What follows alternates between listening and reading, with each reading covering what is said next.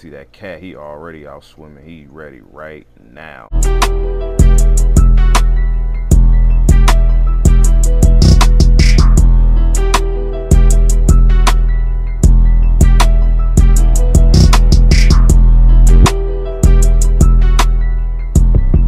Up, this your boy Boss, and welcome back to the channel, man. As always, I appreciate you guys coming through and checking out the vlogs, man, because you know the grind don't stop. Always got to keep bringing this fire content, and there's always something to do in the fish room. So today, what I want to work on, it's going to be like a chill vlog. I want to move these Geophagus and these Flag Festum cichlids to this 60 gallon aquarium because I know it's going to look phenomenal with them guys in there. And that way I have another tank open to move some more fish over here for breeding purposes or whatever I decide I'm to do. I got a lot of tanks down here that really don't got fish in them slowly getting everything going, moving fish around that I want to breed. I have uh, some peacock cichlids in that tank that I want to move out of there today. I got a tank already set up for them. I got a male and like four females, so that's a really good ratio. I want to start trying to catch some of these plecos out of here. I got tons of baby plecos. Um, but it's just, you can't do everything in one day and it's super hard trying to catch them plecos. Oh, and we're gonna go ahead and feed the monsters at the end of this video because I know you guys haven't seen that in a while. So stick around to the end. We're gonna have a nice little feeding of the monsters, man. So let's get this video started. All right, guys, so we're gonna start moving some of these fish that's in this aquarium over to the 60 gallon. I'm kind of curious to see how they doing here. I'm definitely gonna keep a close eye. These Geo, these Damon eyes, they're not aggressive at all. Um, but I'm more worried about these Daniels because these, you see how they just be moving and swimming. They can be pretty uh, mean, um, but they're the smallest fish in this tank, so they don't really bother the other guys. But I want to see how they do with these smaller fish. But I think it's gonna be all right because there's tons of fish in this aquarium. We'll start with the Geos, and then we'll put the Flag Festums in there. And these type of Geophagus right here, these are some Heckeleyes. Um, I believe they call like thread fins or something like that, but they're a Heckeleye.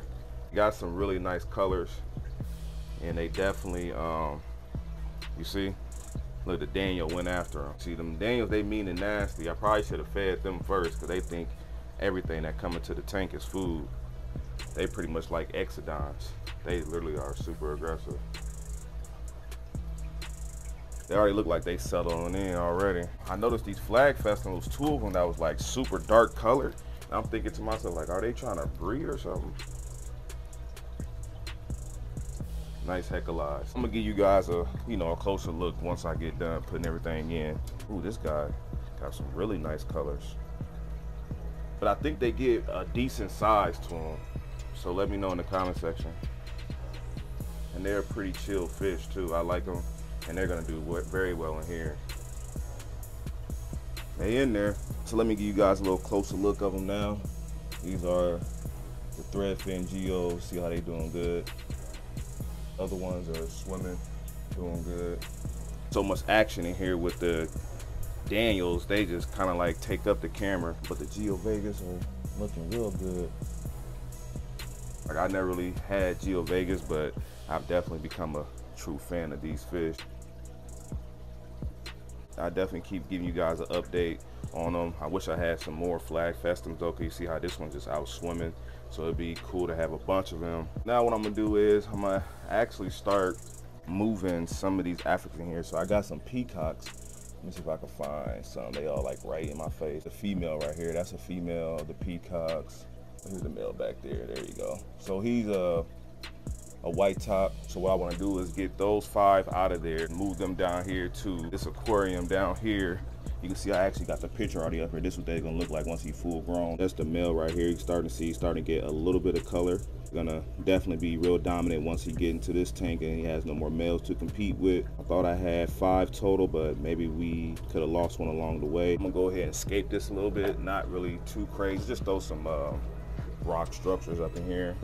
Got this little thing right here. They can kind of like go up in there and hide or whatever. Not trying to have a whole bunch of rocks in here because when it's time to go catch the fish out, I'm gonna have to move all this stuff around. Look at that color. I love this rock. But let's get these guys in here. Just gonna grab them by hand.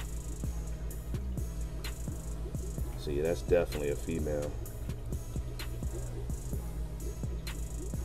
Yeah, that's definitely a female.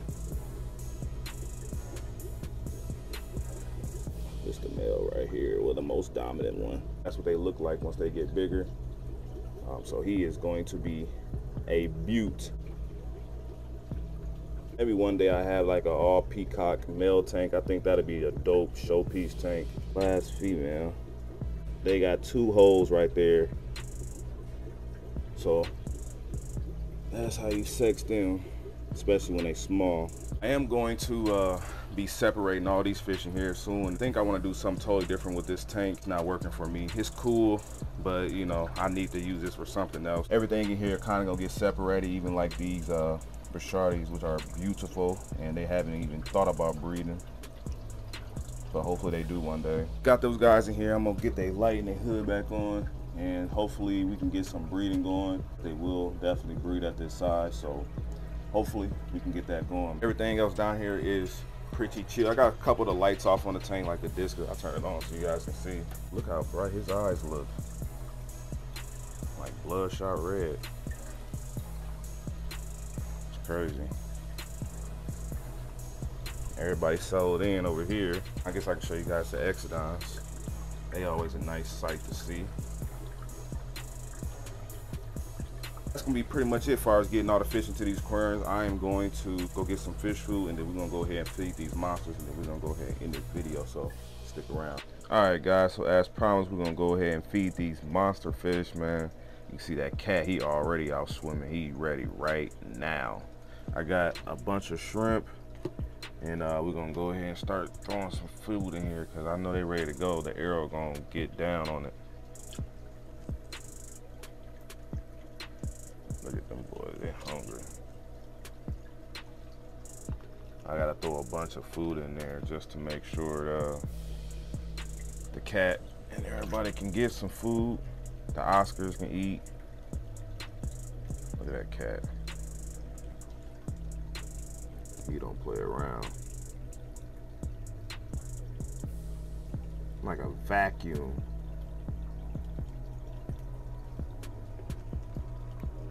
I'm surprised that the um, Arowana only ate just one of them though.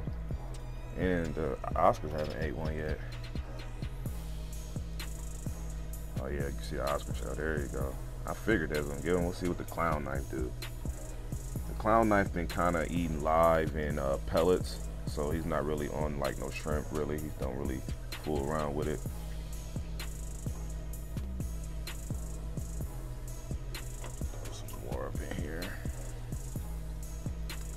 Oh, look at the clown one. He tried to get it.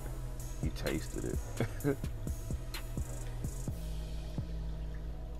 yeah, I can't wait to get these guys into uh, their pond. Look at that arrow.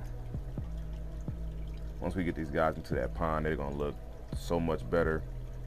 And the feeding videos will be a lot better.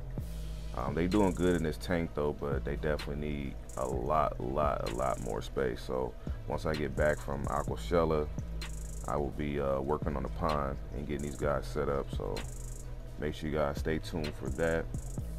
Doesn't look like everybody is uh, very, very hungry, surprisingly. I know that cat throughout the night, he gonna definitely eat. Look at this pleco even sucking on a piece of shrimp. That red tail is a monster, man. Look at him. Once he get into that pond, he gonna blow up. Cause since I put him in this tank, he has blew up for sure. But once I get him into that pond, he's going to explode. Really beautiful. I like that little black stripe on the back of his tail. The arowana, you already know. You want another one? What you looking at? But yeah that's gonna be it for today's video man. Make sure you guys hit that like button and subscribe to my channel for more content. And turn on your post notifications so you can be notified when I drop these videos. And share these videos with your friends and your family. Let's get this video to about 250 likes. I know y'all can do it. I'll catch you guys in my next video with these monsters